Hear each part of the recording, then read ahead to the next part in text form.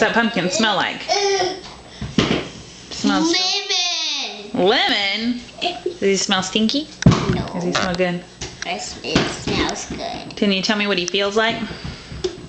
Hard. What's it feel like on the inside? Hard. On the inside of the pumpkin, this part in here. What's that feel like? Slippery. Is it hot or cold?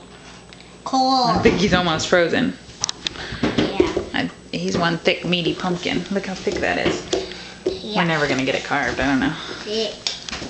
Put his lid on. There you go. Love you, Bricky. No, you what's this part? That's more yucky part than the pumpkin. This is the yucky.